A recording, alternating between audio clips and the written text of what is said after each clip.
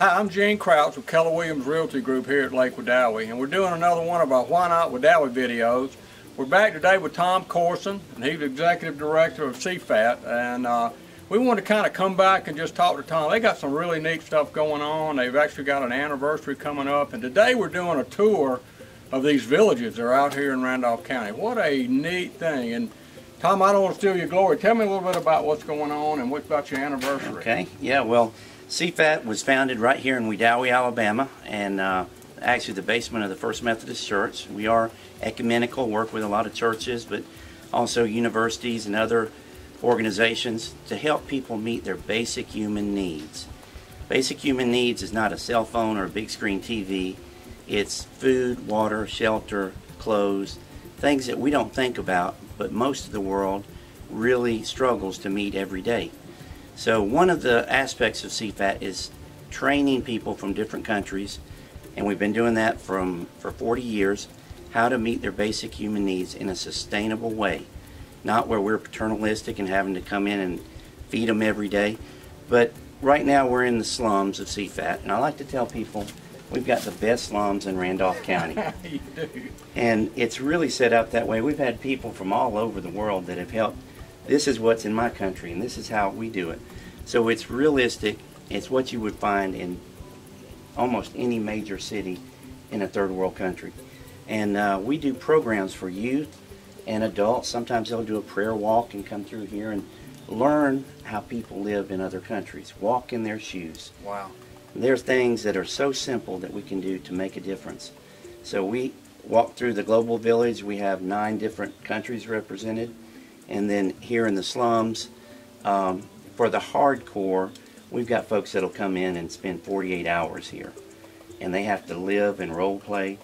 For many church groups, they'll come and do a prayer walk and just walk through here and learn things like uh, cooking three meals of, uh, on an open fire is worse than smoking how many 40 cigarettes a day, a day. And you said that a little while ago, and I was like, wow, never have thought about that. But that's true. I mean, their home is where they're cooking, all that smoke's in mm -hmm. there. So, I mean, not only are they living in a pretty tough environment, they're inhaling a lot of that stuff. Exactly. Man, well, this is a neat place to come, and it kind of grounds you a little bit. And like Tom said, our daily needs aren't cell phones and big screen TVs. It's, it's more than that. But Tom, this is y'all's anniversary, right? You've mm -hmm. been been around now for how many years?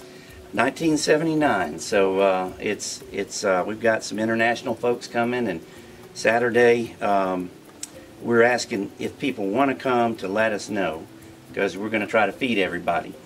But uh, uh, we've got probably 300 folks coming now, and wow. we've got I think five five different countries represented, and uh, hopefully you'll get to meet some of these people. I hope so. But um, it's it's great to be part of Randolph County, and and this is a hidden jewel that um, I don't think half the people in Randolph County know about. I agree with you. I mean, this is the first time I've actually been out here. I've been knowing Tom a while, and we've been coming out here, but never have walked the villages. And I think what's really neat is that you do get to see stuff, and you see it, it's real. It's not like in a picture where you're not sure, well, that doesn't look that bad. You need to come in and check this out. And I tell you what, go check out this, their website, SIFAT. Go look at it I'm sure Tom wouldn't mind you calling him. Talk about why you can get involved and help. This is a really, really neat thing, and it's great y'all been doing this for 40, 40 years, years 40 now. years now. Mm -hmm. So thanks for spending the time with us today, Tom, and especially thanks for showing us this right here. Well, we welcome anybody that wants. We'll give you a tour, uh, bring your church group over, especially your youth. We have some wonderful youth programs too, right here in Randolph County. Thanks, Tom.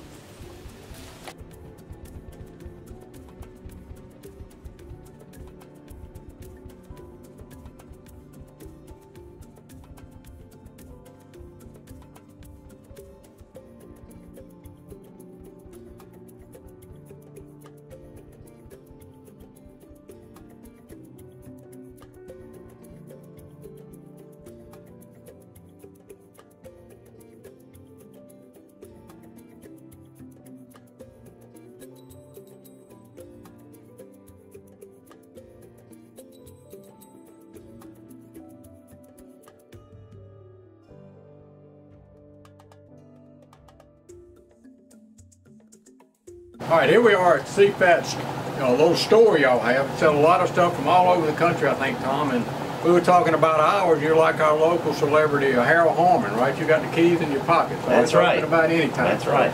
But tell us a little bit about the store. Well, SIFAT is again uh, here to help people meet their basic human needs, and that's food, water, shelter. We've, we've talked about that. We were down in the village, and one of the ways that we can help people from around the world is teaching them business skills and teaching them how to make things that they can sell both in their country and, and overseas. So the idea here was to help buy their products and sell them. So we've got stuff, beads from Africa, uh, tagua nuts from the rainforest. Uh, behind us we have uh, Chulucanas pottery from Peru. Uh, we've got some of our favorite things from Ecuador, these hippie pants. And Gene, you need to get you a pair of those you'd be I don't know if I could get in those, but Yeah. but uh, just jewelry, all kinds of things from all over the world.